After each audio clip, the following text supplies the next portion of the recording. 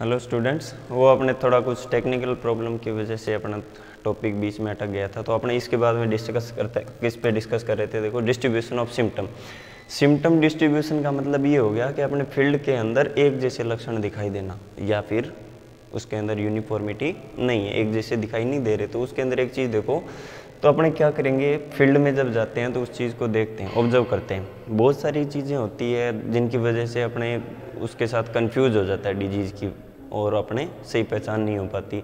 तो उस चीज़ को अपने, उसको मिनिमाइज करने के लिए उस चीज़ से अपने उसको पहले उसके बारे में पता होना चाहिए। तो इसके अंदर देखो यूनिफॉर्मिटी अगर एक जैसे लक्षण दिखाई देंगे तो उसके अंदर सीधी सी बात होती है कि उसके अंदर कोई सोइल का फैक्टर काम कर रहा है।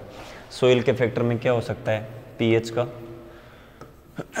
इरिगेशन का और न्यूट्रिशन का। तो ये सब चीज़ें क्या होती है कि ये सब चीज़ें, देखो प्रैक्टिकली तुम लोगों के लाइफ टाइम काम आने वाली चीज़ें होती है। ये सब चीज़ें, सब चीज़, ये इन चीज़ों का पता होना चाहिए ताकि तुम लोग कभी भी कोई भी डिज़ीज़ को पहचानो तो उसके अंदर तुम लोगों को ये बेनिफिट होगा कि तुम लोगों को कुछ हद तक यही पता चल जाएगा कि उसके अंदर कुछ एबायोटिक फैक्टर का काम है या फिर उसके अंदर बायोटिक फैक्टर का। मतलब 50 परसेंट डिज़ीज़ को डायग्नोज करने का सबसे पहला स्टेप जो होता है वो यही होता है कि फ़ील्ड में आप जब भी जाओ तो अपने को ये पता होना चाहिए कि फ़ील्ड के अंदर जो लक्षण दिखाई दे रहे हैं वो एक जैसे है या नहीं है। कई बार क्या होता है कि अपने फ़ील्ड में जाते हैं तो फ़ील्ड का जैसे ये मान लो ये फ़ील्ड है तो इसमें क्रॉप लगी हुई है तो उसके किनारे किनारे पे जो पौधे होते हैं सिर्फ़ उन्हीं पे इस प्रकार के लक्षण दिखाई देते हैं, बीच में उसके अंदर कोई सिम्टम नहीं दिखाई देता तो उसका कारण क्या हो सकता है?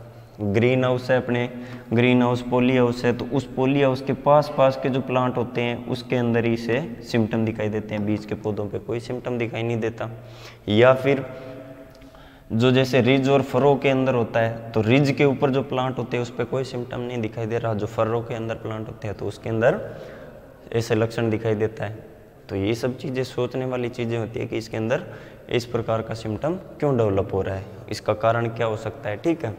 तो इसमें देखो सिम्टम का डिस्ट्रीब्यूशन डिस्ट्रीब्यूशन ये होना चाहिए कि अपने सिम्टम उसमें कैसे दिखाई दे रहे हैं। दूसरी चीज़, उस सिम्टम को देखने के बाद में अपने उस चीज़ को ये भी कंटिन्यूस को ऑब्ज़र्व करते रहना चाहिए कि उस सिम्टम के अंदर आगे कंटिन्यूस कुछ ग्रोथ हुई है या फिर वहीं पर रुका पड़ा है। समझ रहे हो बात? कि अगर जैसे पहले दिन अपन ने कोई सिम्टम देखा तो जो लीप थी तो लीप के ऊपर मान लो जैसे ऐसे कोई छोटा सा धब्बा बना था। अगले दिन जब जाके देखते हैं तो वो डब्बा साइज़ में बड़ा हो गया। तो मतलब उसके अंदर कुछ लिविंग एक्टिविटीज़ हो रही है, तभी वो साइज़ में बड़ा हो रहा है। अगर उसके अंदर ऐसा कोई नहीं लिविंग एक्टिविटीज़ नहीं हो रही, अगर लिविंग थिंग्स उसमें काम नहीं करती तो वो उसका जो डब्बे का जो साइज़ था, वो उतना ही रहेगा जितना आपने पहले ऑब्ज़र्व किया था। तो ये सब चीज़ें अपने डिज़ीज़ डायग्नोसिस के अंदर इम्पोर्टेंट होता है कि डिज़ीज़ को डायग्नोज करने के अपने को सारे मेथड पता होना चाहिए और उसके स्टेप बाय स्टेप अपने को उसकी प्रोसीजर उसका पूरा पता होना चाहिए कि अपने फ़ील्ड में अंदर फ़ील्ड में जाते हैं तो अपने कम से कम इतनी तो बेजती नहीं हो कि न्यूट्रेंट की डेफिशिएंसी को डिज़ीज़ बता के आ जाए। ठीक है तो ये इतना तुम लोगों के अंदर टेक्निकली और लेबोरेटरी अपने चाहिए लेबोरेटरी की ज़रूरत ही नहीं पड़ती अगर इन चीज़ों को अपन सीधा अपन प्रैक्टिकली नहीं तो अपन थ्योटिकली अगर समझें इस चीज़ को तो भी अपने ये हेल्पफुल हो सकती है, ठीक है? तो अब देखो, ये चीज़ें बता दी कि यूनिफॉर्मिटी होनी चाहिए न्यूट्रेंट डेफिशिएंसी हो सकती है पीएच का इफ़ेक्ट हो सकता है इरिगेशन का इफ़ेक्ट हो सकता है। अगर कोई डिज़ीज़ या फिर कोई सिम्टम ऐसा दिखाई देता है कोई किनारे से स्टार्ट हुआ और वो बीच बीच में भी दिखाई देता है तो उसका कारण हो सकता है कुछ बायोटिक अगर पैचेज के अंदर बीच बीच में ऐसे चकते दिखाई देते हैं तो उस जगह पे भी कारण हो सकता है बायोटिक क्योंकि चकतों के अंदर कभी भी न्यूट्रन डेफिशिएंसी प्लांट शो नहीं करता। प्लांट शो करेगा न्यूट्रन डेफिशिएंसी तो पूरी ज़मीन के अंदर एक साथ न्यूट्रेंट की डेफिशिएंसी होती है तो वो सारे के सारे लक्षण एक जैसे दिखाई देते हैं, ठीक है? अब इसके अंदर देखो, वेदर का डिस्ट्रीब्यूशन होता है, वेदर का इफ़ेक्ट हो सकता है। सनस्काल्ड होता है, पौधे के अंदर, पौधा लाइट की वजह से जल जाता है। तो वो सब चीज़ें भी अपने ध्यान में रखनी पड़ती है। उसके अलावा इसके अंदर कुछ चीज़ें जैसे ग्रीन हाउस के साइड के अंदर है, उसकी प्लांट की रो के अंदर कहीं सिम्टम दिख रहे हैं तो ये सब चीज़ें अपन ने डिस्कस कर ली। कई बार क्या करते हैं, अपन खेत के अंदर जब सेकेंडरी टिलेज की प्रैक्टिसेज करते हैं कल्चरल प्रैक्टिसेज जिनको बोलते हैं अपन। कल्चरल प्रैक्टिसेज करते टाइम में कोई इम्प्लीमेंट के द्वारा कोई प्लांट के रूट को डैमेज हो जाता है। जैसे अपन कोई हल की वजह से या फिर कोई कल्टीवेटर की वजह से सॉरी, कल्टीवेटर क्या है जो हेरो अपन यूज़ करते हैं सेकेंडरी टिलेज जब करते हैं, या फिर कोई अदर इम्प्लीमेंट्स होते हैं, उस वजह से पौधे की रूट को डैमेज हो गया। तो वो क्या होगा? धीरे धीरे मुरझाने लग जाएगा, पूरा सूख जाएगा। तो उस चीज़ का पता होना चाहिए। अपन उस चीज़ को ये नहीं बोल सकते कि उसके अंदर डिज़ीज़ हो गया। क्यों? क्योंकि मैकेनिकली उसके अंदर कुछ इंजरी होगी। तो उस वजह से उसको ऐसे लक्षण उत्पन्न हो गए। तो ये सब चीज़ें अपने को पता होना चाहिए। ठीक है? इन्फेक्शियस और नॉन इन्फेक्शियस फैक्टर का पता लगाने का आसान तरीका होता है ये। अब इसके बाद में क्या करते हैं तो ये सारी की सारी, मैंने जो प्रोसीजर बताया तो वही इसके अंदर डिस्कस किया हुआ पूरा लिखा हुआ इसके अंदर कि क्या क्या चीज़ें अपने को ध्यान रखनी चाहिए। अब इसके बाद में क्या होता है कि सिम्टम मैंने जैसे बताया कि प्रोग्रेस कर रहा है या नहीं कर रहा तो वो सब चीज़ें ध्यान रखनी, कई बार क्या होता है, देखो, खेत का जो फ़ील्ड होता है फ़ील्ड के किनारे पे अपने देखते हैं तो वहाँ पे उसके अंदर पौधा का जो किनारे वाले भाग होते हैं या फिर वहाँ पे दूसरी चीज़ या फिर कई बार अपन क्या करते हैं, कोई ऐसा पेस्टिसाइड यूज़ कर लेते हैं, जिस वजह से पौधे के ऊपर ऐसे धब्बे बन जाते हैं। ठीक है? वो क्या चीज़ होती है? फाइटोटॉक्सिसिटी उसको क्या बोलते हैं? फाइटो टॉक्सिसिटी फाइटोटॉक्सिसिटी या फिर फाइटोटॉक्सिक इफ़ेक्ट फाइटोटॉक्सिक इफ़ेक्ट मतलब पौधे के ऊपर विषकारी प्रभाव पड़ना किसका? केमिकल्स का। तो केमिकल्स का विषकारी प्रभाव पड़ता है तो उस वजह से भी उसमें क्या होता है, लक्षण दिख जाता है। पौधे जैसे वीड होता है तो वीड जल जाते हैं तो सीधी सी बात है तो वीडिसाइड भी कई बार यूज़ करते हैं तो दूसरे अपनी फ़सल के पौधे भी जल जाते हैं। तो कुछ ऐसे जैसे डाइको जो पेराकोट और जो डाइकोट जैसे ऐसे हर्बीसाइड है, अपन क्या करते हैं अपने, जिस जगह पे वनस्पति जहाँ पे होती है, वो पूरी वनस्पति को ख़त्म करती है। तो अपन क्या करते हैं, कई बार जैसे पानी के नाले में या फिर साइड पे कहीं पे ज़्यादा घास हो रहा है तो वहाँ पे अपने इसको छिटकते हैं। तो उस टाइम में क्या होता है, जहाँ पौधा उसका कांटेक्ट में आ जाता है तो कई बार उस पर भी स्प्रे हो जाता है। तो उसके ऊपर क्या होगा, उसके ऊपर ऐसे धब्बे बनने लग जाएँगे। तो वो चीज़ें क्या होती है एबायोटिक फैक्टर हो गई। वो मैकेनिकल या फिर अपने जो काम करते टाइम अपने उसके अंदर कुछ उसमें प्रॉब्लम आ गई तो वो एबायोटिक कोज हो गया। उसमें बायोटिक कोज नहीं है। उसको पता लगाना होता है तो पहले दिन एक कोई सिम्टम को देख लो, अगले दिन जाके देखो अगर वो फैलता है या फिर उसका साइज़ कम ज़्यादा होता है वेरिएशन आता है तो वो बायोटिक हो सकता है। अदरवाइज़ वो क्या होगा? फाइटोटॉक्सिक इफ़ेक्ट होगा। ठीक है। अब कल्चरल प्रैक्टिसेस और ग्रोइंग इन्वायरमेंट का रिव्यू पता होना चाहिए अपने को। देखो, कुछ फ़सलें ऐसी होती है जो टेम्परेचर के साथ में उसका रिलेशनशिप होता है। देखो टेम्परेचर का सीधा रिलेशनशिप होता है। कोई भी इन्वायरमेंट का क्रॉप के साथ में सीधा रिलेशनशिप होता है। कुछ ऐसी फ़सलें होती है। अब ऐसे तो है नहीं कि अपने इस रीजन के अंदर एप्पल क्यों प्लांट लगा सकते हैं? नहीं लगेगा। ग्रो नहीं कर पाएगा। तो वो कुछ कंडीशंस होती है। तो उन कंडीशन का भी अपने को पता होना चाहिए कि इस फ़सल के लिए ये ज़मीन सूटेबल है या नहीं? या फिर ये जगह सूटेबल इन्वायरमेंट सूटेबल है या नहीं? प्लस उसके अंदर पानी इरिगेशन सूटेबल है नहीं? ब्रेकिस वाटर यूज़ करते हैं ब्रेकिस मतलब जैसे ट्यूबवेल का पानी यूज़ करते हैं। तो कुछ फ़सलें ऐसे मान लो जिनके अंदर ट्यूबवेल का पानी शूट ही नहीं करता, कुछ ऐसे पल्सेज होती है जिनके अंदर ट्यूबवेल का पानी नहीं लग पाता तो अपन उसमें ट्यूबवेल का पानी लगा देंगे तो पूरे खेत के अंदर क्या आ जाएगी? विल्टिंग आ जाएगी। ठीक है, लाइसिस हो जाएगा, विल्टिंग आ जाएगी। तो उस वजह से क्या होगा? वो अपना क्या हो गया? अपना एक अलग पॉइंट हो गया। तो उस चीज़ का ध्यान रखना पड़ता है। कि ये सब चीज़ें, उसको जो फ़सल का जो एक्चुअल इन्वायरमेंट होता है, अगर उसको प्रॉपर सब फैसिलिटीज़ मिलने के बाद में अगर उस पर कुछ ऐसे लक्षण दिखाई देते हैं, तब जाके अपने को कुछ ऐसा आइडिया होगा कि इसके अंदर एबायोटिक कारण तो नहीं है, इसके अंदर कुछ बायोटिक कारण है। तो उसके अंदर फंगस होगी बैक्टीरिया होगा तो वो सब चीज़ें ध्यान रहने अपने माइंड में रहती है तो उस चीज़ से अपने को पता चल जाता है। तो इसी के बारे में इसका विवरण है इसमें, ठीक है? नेक्स्ट स्लाइड के अंदर देखो final diagnosis final diagnosis hypothesis एक प्रकार से अवधारणा मान लेते हैं इसको. डायग्नोसिस करना एक अपने क्या हो गया? प्रैक्टिकली जो लेब के अंदर. एक चीज़ मैंने बताई कि जिस डिज़ीज़ को अपन ने डायग्नोज कर रखा है, जिस पैथोजन को अपन ने पहचान लिया, उसका अपने पास एक स्कोर हो गया, अपने पास एक रिकॉर्ड हो गया कि इसके अंदर इस प्रकार का लक्षण उत्पन्न होता है। इतने दिनों बाद ये लक्षण ऐसा दिखाई देता है और लास्ट में इस प्रकार का लक्षण होता है और उसके अंदर जो रोग कारक होता है वो ये सब होता है। अगर अपने पहली बार कोई डिज़ीज़ को देखते हैं, अगर पहली बार कुछ अलग डिफरेंट टाइप का सिम्टम अपने पता चलता है तो उस डिज़ीज़ के लिए, अपने उस डिज़ीज़ को पूरा उसका स्टडी करने के लिए अपने क्या करता है? फाइनल डायग्नोसिस का मतलब क्या होता है? एक हल्का सा वेरिएशन साइन और सिम्टम के अंदर भी थोड़ा सा वेरिएशन होता है, उसका भी पूर्ण रूप से अपने अध्ययन करते हैं। ठीक है तो उसके लिए क्या करते हैं अपने? लेब की हेल्प लेते हैं, मदद किसकी लेते हैं? लेबोरेटरी की। तो लेब के अंदर पूरा प्रोसीजर फॉलो करते हैं। उसका क्या क्या मेथड अपन अपना सकते हैं? देखो, इसमें सारे के सारे जब अपन उस डिज़ीज़ के बारे में, सारे जब उसके फैक्ट्स जितने भी होते हैं उसके पूरा जो इसका जितना भी उसके बारे में जितनी भी इंफॉर्मेशन होती है, वो सारी की सारी जब अपन कलेक्ट कर लेते हैं तो उसके बाद में अपन उसको क्या करेंगे डिज़ीज़ को डायग्नोज करेंगे। सबसे पहले इन्फॉर्मेशन अपने क्या थी कि सिम्टम कहाँ दिखाई दिया? सोइल का टाइप क्या था? वहाँ पे किस प्रकार का कंडीशन थी? और लक्षण कैसा था? कितने दिन बाद कैसा दिखाई दिया? और लास्ट में इसमें पौधे के ऊपर क्या इफ़ेक्ट पड़ा? कितना परसेंटेज को नुकसान हुआ? और किस प्रकार से नुकसान किया?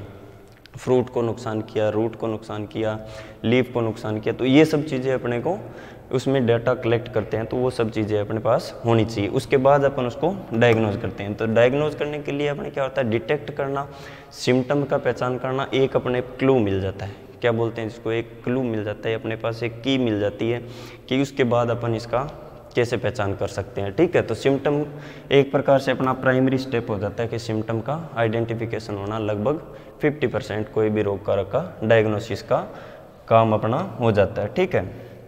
अब डिटेल सिम्टम साइन की स्टडी करते हैं और उसके बाद में डायग्नोसिस के अंदर देखो क्या क्या चीज़ें होती है। देखो इनिशियल स्टेप होता है डायग्नोसिस का तो लेबोरेटरी कंडीशन में जाते हैं तो लेबोरेटरी के अंदर कर सकते हैं और डायग्नोज वैसे करने का जो इनिशियल जो स्टेज होती है तो उसके अंदर क्या होता है? जैसे मैंने बताया कि अपने पास जो पहले से रिकॉर्डेड चीज़ होती है, उसको देख के तो डायग्नोज कर ही लेते हैं तो उसके अंदर ये सारा प्रोसीजर आ जाता है कि इस प्रकार का लक्षण दिखाई दे रहा है अपने को तो ये वाली बीमारी है, इस प्रकार का लक्षण दिखाई दे रहा है तो ये भी वाली बीमारी है और इसके अंदर ये रोग कारक है। ऊज टेस्ट कर लेते हैं, कोई बैक्टीरिया के लिए है तो या फिर इस प्रकार का पाउडरी मिल्ड्यू जैसा सिम्टम दिख रहा है तो उस चीज़ की अपन पहचान कर लेते हैं। तो ये क्या होता है बायोटिक कोजल एजेंट जो होता है, उसका इनिशियल स्टेप होता है, उसकी पहचान करने का। उसके बाद अपन बात करते हैं लेबोरेटरी टेस्ट लेबोरेटरी टेस्ट के अंदर देखो क्या क्या चीज़ कर सकते हैं अपन. इंक्यूबेशन ऑफ़ प्लांट मटेरियल अगर अपन कोई डिज़ीज़ को पहचान नहीं पा रहे एक चीज़ तो अपन ने देख के पहचान लेना, देखा और उसको मैच किया कि इस प्रकार का सिम्टम है या नहीं. पिछली स्लाइड में जैसे डिस्कस किया अपन ने. दूसरा, अगर उस तरीके से अपने पहचान नहीं कर पाते तो उसको कैसे डायग्नोज करेंगे? देखो, उसको डायग्नोज करने का एक तरीका होता है incubation of plant material plant material को इनक्यूबेट करना, इसमें एक प्रोसीजर होता है, जैसे मानो, एक पेट्री प्लेट लूँगा मैं। उस पेट्री प्लेट के अंदर जैसे लीफ के ऊपर इन्फेक्शन था तो उसकी बिट्स काटूँगा। उसकी बिट्स काट लिए छोटी छोटी ऐसे बिट्स बना लिए। इसके अंदर मैं एक स्लाइड लूँगा, ठीक है? और इस पेट्री प्लेट के पेंदे में मैं एक ब्लोटर पेपर लगा दूँगा, ठीक है? ब्लोटर पेपर लगा दूँगा, ठीक है? ब्लोटर पेपर लगा दिया। अब उसके बाद मैं क्या करूँगा? इस स्लाइड पे मैं इस बिट को डालूँगा। इस स्लाइड पे बिट को रखूँगा मैं, ठीक है? या फिर पूरी लीफ को भी रख सकता हूँ। दो तीन बिट्स को रख दिया मैंने। फिर क्या करूँगा? इस स्लाइड को एक ग्लास रोड रखूँगा इस पेट्री प्लेट के अंदर और उस ग्लास रोड के ऊपर मैं इस स्लाइड को छोड़ दूँगा। देखो, पानी क्यों डाला मैंने? अब देखो ब्लोटर पेपर डालूँगा ब्लोटर पेपर पे पानी की ड्रॉप डालूँगा। पानी क्यों डाला मैंने? पानी इसलिए डाला क्योंकि उसके अंदर नमी, मोस्ट एंड कंडीशन होनी चाहिए कि उसके अंदर नमी प्रॉपर बनी रहे। दूसरा, उसके ऊपर एक ढक्कन लगा दूँगा, जिसमें प्रॉपर एरिएशन रहे। ठीक है, हवा का ट्रांसफ़र होता रहे। ठीक है तो उस वजह से क्या होगा? एक या दो दिन, तीन दिन, चार दिन के बाद में उसके ऊपर क्या होगा? जो बिट मैंने रखी थी, वहाँ पे फंगस की ग्रोथ आ जाएगी। या कोई भी बैक्टीरिया या फिर फंगस जो भी होगा एक्सवाइजेड जो भी पैथोजन होगा, उसकी ग्रोथ आएगी। तो उसको मैं इंक्यूबेट करके इस प्रकार से उसको, फिर मैं डायरेक्ट उसको क्या करूँगा, उस स्लाइड को डायरेक्ट माइक्रोस्कोप में रखूँगा और उसका आइडेंटिफिकेशन कर लूँगा। तो वो क्या हो जाएगा? सीधा डायग्नोज हो जाएगा। इंक्यूबेशन मेथड आइसोलेशन करना, बताया भी था तुम लोगों से, करवाया भी था। तो सिंपल सा प्रोसीजर होता है, जो बिट मैंने काटे, उसको मीडिया बनाया, मीडिया के ऊपर डाल के, और उस फंगस की जो ग्रोथ आएगी, या बैक्टीरिया जो भी पैथोजन होगा, उसकी ग्रोथ आएगी, उसको अपन माइक्रोस्कोप से आइडेंटिफाई कर लेते हैं। तो थ्रो माइक्रोस्कोप या फिर थ्रो आइसोलेशन का प्रोसीजर सबसे अच्छा मेथड और सबसे इफ़ेक्टिव और श्योरिटी के साथ में। पूर्ण रूप से श्योर करना होता है कोजल ऑर्गेनिज्म आइडेंटिफिकेशन का तो अपन उसको आइसोलेट करना चाहिए। उसके बाद क्या करते हैं? डायग्नोस्टिक टेस्ट करते हैं identification of biotic agent traditional और मॉडर्न मेथड बहुत सारे मेथड होते हैं उसको डायग्नोज करने का। अपने नेक्स्ट स्लाइड में बात करेंगे कौन कौन से होते हैं। टेस्ट करते हैं डायग्नोस्टिक उसको रोग कारक की पहचान के लिए बहुत सारे टेस्ट होते हैं। वो कौन कौन से अपन बात करेंगे? ठीक है identification of abiotic abiotic causal agent होते हैं एबायोटिक एजेंट होते हैं। उनका डायग्नोस्टिक टेस्ट जैसे मान लो नाइट्रोजन की डेफिशिएंसी है तो सोइल के अंदर नाइट्रोजन की डेफिशिएंसी का अपने टेस्ट करते हैं। पोटेशियम की डेफिशिएंसी का टेस्ट करते हैं फास्फोरस की डेफिशिएंसी का टेस्ट करते हैं ऑर्गेनिक मैटर डेफिशिएंसी का टेस्ट करते हैं, जैसे अलग अलग मेथड होते हैं जेलडाल मेथड हो गया ओल्सन मेथड हो गया फोटोफ्लेम मीटर हो गया। तो ये सारी चीज़ें क्या होता है? न्यूट्रन डेफिशिएंसी तो इसी प्रकार से बायोटिक के लिए भी कुछ मेथड्स होते हैं। मॉडर्न टेक्निक है और ट्रेडिशनल पुराने रूप, तरीके से, पुराने तरीके से कैसे करते थे और नई टेक्निक इसमें क्या है, वो भी देखते हैं। मॉडर्न डिज़ीज़ डायग्नोस्टिक मेथड में देखो क्या है। पुरानी टेक्निक तो वही, आइसोलेशन कर लिया उसका, वो सब चीज़ें उसके मेथड्स उसी में आते हैं।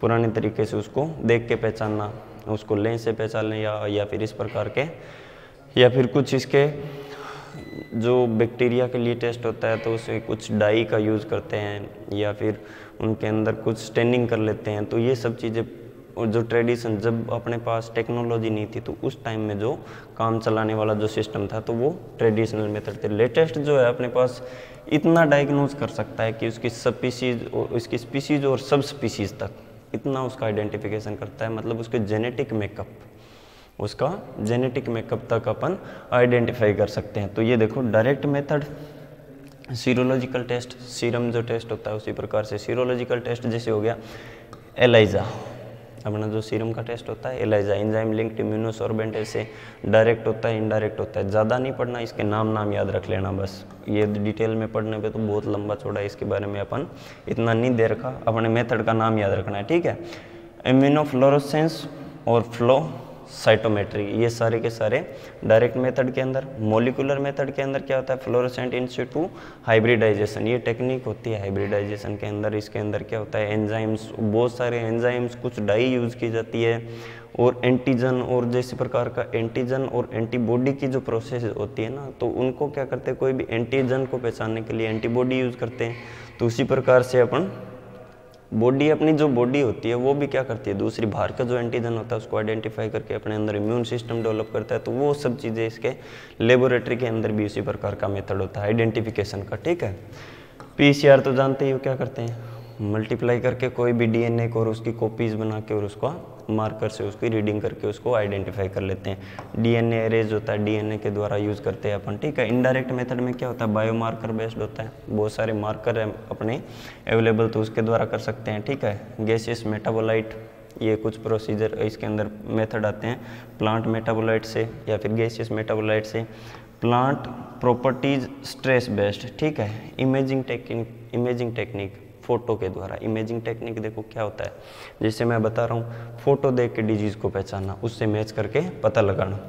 और spectroscopic sorry spectroscopic technique stethoscope इसके द्वारा यूज़ कर लेते हैं अपने इसका मेथड इसके अंदर कोई इक्विपमेंट की सहायता से अपन डिज़ीज़ को आइडेंटिफाई कर लेते हैं। तो ये सारे के सारे मेथड थे जो तो ये अपने डिज़ीज़ डायग्नोसिस हो गया। ठीक है डायग्नोसिस करने के मेथड सीधा सा बात। अपने इसको सिर्फ़ सिम्टम और साइन अपने को पता होना चाहिए कि किस प्रकार से। आइडेंटिफिकेशन वही होता है जिसको अपन देख के पहचान लेते हैं। विजुअल ऑब्जर्वेशन लेबोरेटरी के बहुत सारे मेथड हैं। चार मेथड पहले भी अपन ने डिस्कस कर लिए और उसके बाद में ये लेटेस्ट कुछ टेक्निक है, इनके द्वारा भी अपन पैथोजन को डायग्नोज कर सकते हैं। और पैथोजन को अपन डिटेक्ट करते हैं तो कैसे कर सकते हैं? सिम्टम से पता लगा सकते हैं कि इसके अंदर कौन सा रोग कारक होगा। तो ये अपना एक टॉपिक हो गया डिज़ीज़ डायग्नोसिस का। तो इसके अंदर इंपॉर्टेंट यही है कि डिज़ीज़ डायग्नोसिस के अंदर जितने भी मैंने नाम लिए damping off powder mildew downy mildew sign symptom disease disorder तो ये सब चीज़ें इनकी डेफिनेशन पता होनी चाहिए। पहले की पढ़ी हुई है, तुम लोगों को एक मैनुअल प्रोवाइड किया था तो उसके अंदर सारे के सारे सिम्टम का विवरण है। तो ये चीज़ें आराम से याद कर सकते हो। इतना लंबा चौड़ा टॉपिक नहीं है, लेकिन डिटेल में इसलिए बताया था कि तुम लोगों के, कुछ लोगों के काम आ सकता है कि इसके अंदर क्या चीज़ें होती है, पहचानने का आइडिया हो जाएगा कि कोई डिज़ीज़ को अपन जब देखते हैं फ़ील्ड के अंदर तो उसको कैसे डायग्नोज करें, उसको कैसे आइडेंटिफाई करते हैं पैथोजन को कैसे आइडेंटिफाई करते हैं। आज के लिए बस इतना ही। Thank you